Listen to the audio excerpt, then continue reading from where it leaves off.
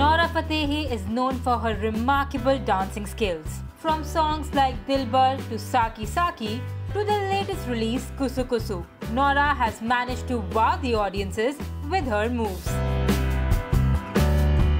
Kusu Kusu from the upcoming film Satyamev Jayate 2 starring John Abraham released recently and needless to say, Nora's moves took the internet by storm. The track left everyone speechless as it showed her performing some really difficult belly dancing moves with utmost ease. Apart from her dance, Nora's beautiful shimmery attire caught the attraction of her fans. However, recently, Nora revealed how shooting for the dance sequence was the worst experience on set as her dress almost choked her neck and left marks on her body.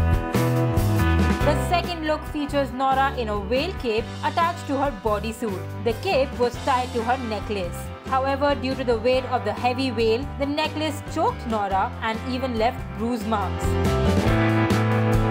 Talking about the experience, Nora was quoted as saying, On sets, we often have minor incidents like scraping of knees, bleeding of feet, or something like that. But this definitely has been my worst experience on set. The necklace was extremely tight around my neck because of the weight of the cape and since I was constantly moving, it kept brushing more, leaving really horrifying marks at the end of the shoot. It almost felt like someone has tied a rope around my neck and dragged me across the floor. But because we had limited time for the shoot, I continued to film the song and only took a break after we completed the sequence.